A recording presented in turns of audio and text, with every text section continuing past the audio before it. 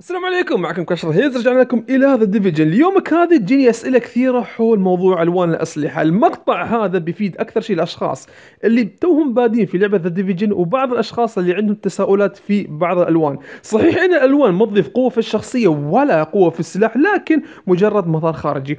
أول شيء عندنا كم من mission آه في الخارج. ال mission ات هذه إن كررتها تنزل لك اللون عند ال boss الأخير. للمعلومية ال mission هذا لازم يكون daily رقم واحد. واحد رقم اثنين لازم يكون challenging عشان ينزل لك اللون.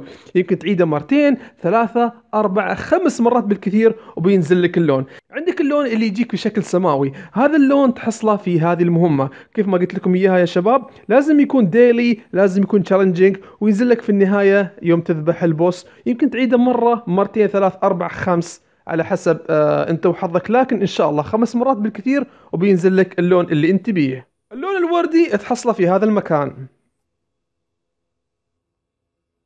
اللون المخطط باللون الأزرق والأحمر تحصله في القنصلية الروسية.